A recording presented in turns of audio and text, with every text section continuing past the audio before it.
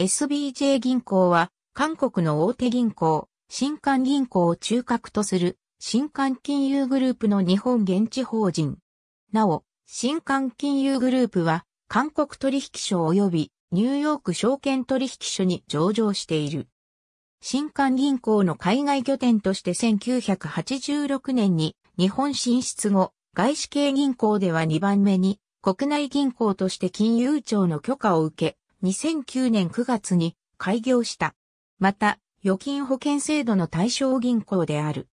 1982年韓国において新韓銀行が設立され、日本においては1986年に大阪支店を開設した。2009年1月8日、新韓銀行の東京、大阪、福岡の3支店の事業を譲り受けける目的で設立され、7月27日に金融庁より銀行免許を取得、9月14日に営業開始した。預金保険機構対象機関、全国銀行協会加盟。外国銀行の日本法人では、シティバンク銀行に続き、2社目である。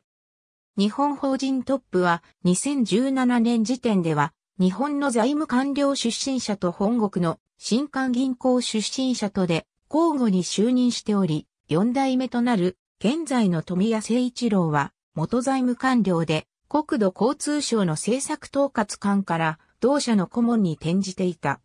すべて空中店舗となっていたが、2015年12月7日に千代田区丸の内に東京支店が同行発となる路面店としてオープンされた。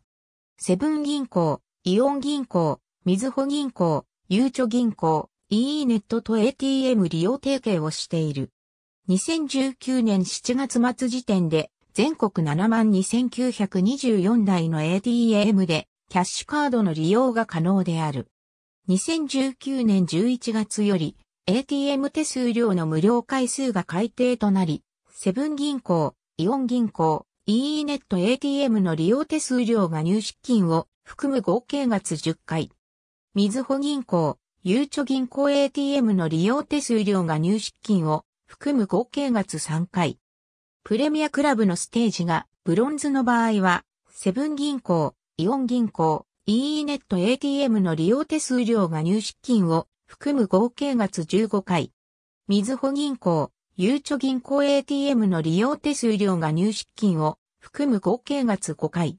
シルバー以上は以前と変更はない。無料回数超過後は1回あたり110円の手数料が発生する。効果は ATM で下ろすことはできない。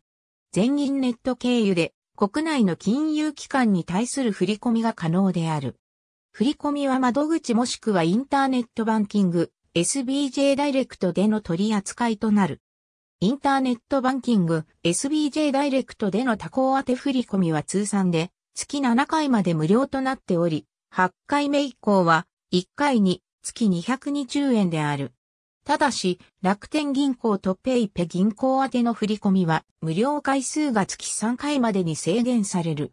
窓口では他行宛ての振込は330円の振込手数料がかかる。窓口、インターネットバンキング、SBJ ダイレクトともに、SBJ 銀行宛ての振り込みは無料である。円建てと外貨建てを取り扱っている。仕向け海外送金の場合は、手数料は取扱手数料に為替手数料がかかる。特徴としては、韓国ウォンダとの場合は、手数料を無料としている。仕向け送金は、手数料は取扱手数料に為替手数料がかかる。あらかじめ登録しておいたエクスプレス送金口座に入金するだけで海外送金先の口座に自動送金されるサービス。口座開設には来店が必要だが、一度口座を作っておくと、インターネットバンキングやコンビニエンスストアでも海外送金できるのが特徴。年収によって送金限度額が異なる。取扱通貨は日本円、韓国ウォン、米ドルが対象。韓国ウォン建て送金は一律1000円である。羽田空港国際線及び国内線、福岡空港、博多港に両替所を設置している。営業時間は全店舗365日無休で、取扱通貨は各両替所ごとに異なるが、最大17カ国の通貨を取り扱っている。スマートフォン用のアプリケーションは LINE と提携した LINEPay 外貨両替サービスアプリを管理及び配布している。キャッシュカードは2011年3月以降、日本在住の18歳以上の口座保有者に対する発行を開始した。キャッシュカードの ATM 利用は2011年4月18日以降順次できるようになり、同日からはセブン銀行とイオン銀行の各 ATM が利用提携を開始した。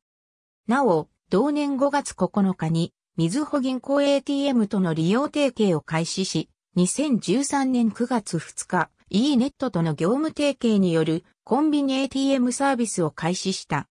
2019年7月末時点で全国72,924台の ATM でキャッシュカードの利用が可能である。2011年12月5日よりインターネットバンキングのサービスが開始。東交換振込が24時間即時決済可能で、何度でも無料である。他行振込も5回まで無料となっている。なお、開業7年目を記念して7回まで無料とした。インターネットバンキング上で、円定期預金、円定期積金の開設及び解約も可能であり、外貨預金も開設できることが特徴。乱数表によるセキュリティカードもしくはトークンによるセキュリティ対策を講じている。法人版のビズダイレクトでは、総合振込サービス、自動振替サービス、海外送金の受付が可能である。信用上等の取引ができる輸入で業務も可能であり、手数料は個人、法人とも無料である。ただし一部銀行は月3回までと制限されている。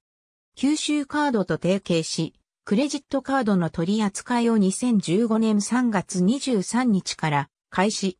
韓国から来日した駐在員も一定の審査を満たすと発行してくれるのが特徴。駐在員は条件付き、法人や個人は年会費が永久無料となっており、ETC カードや家族会員を取り扱っている。種類はクラシックとゴールドがある。